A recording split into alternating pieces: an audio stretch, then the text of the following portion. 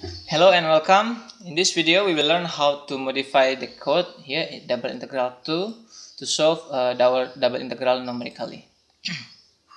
so in this example, uh, we have two examples here.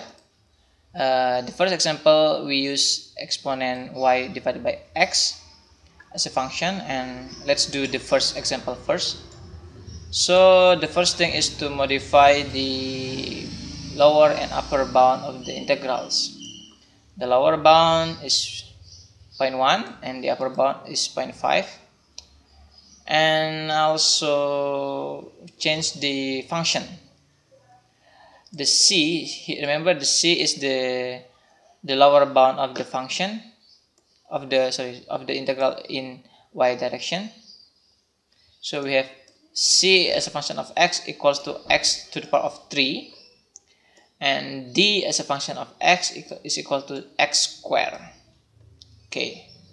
And the function itself is a function exponent y divided by x. Okay right? So everything is set up everything is ready and we have 5 and 5 uh, subdivision on each uh, axis. So we can build and run here.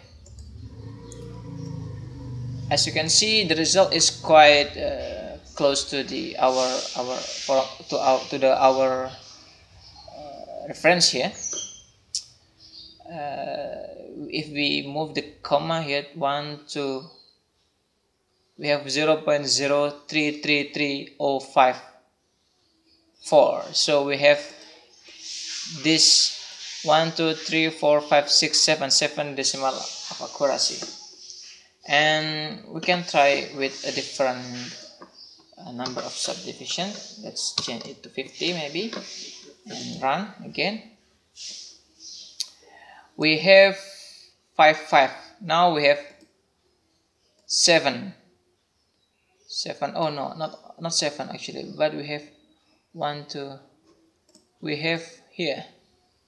1 2 3 4 5 6 7 8 9 10 10 10 decimal of accuracy so it's quite good. And we can go to the next uh, example. Here.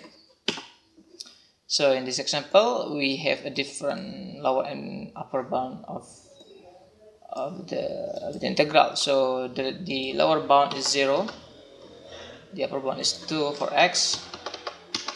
When o d o this is for double precision variable and C and D. C and D. C as a function of x is 0. 0.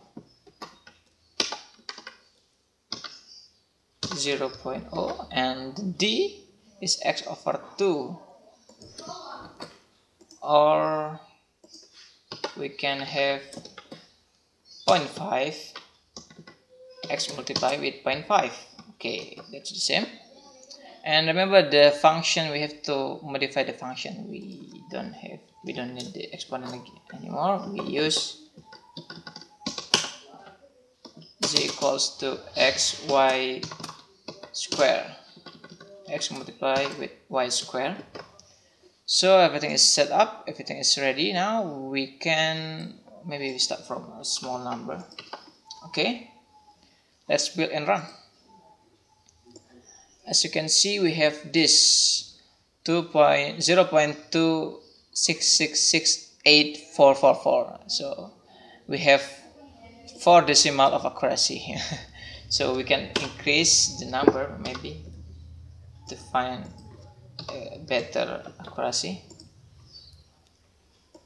Then we have 1 2 3 4 5 6 7 8 8 number 8 decimal of accuracy. 1 2 3 4 5 6 7 8 as you can see if we increase the number of subdivision we have a better accuracy of the result.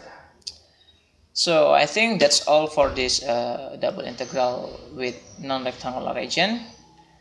Uh, if you have any question and or suggestion you can comment below and see you on the next video.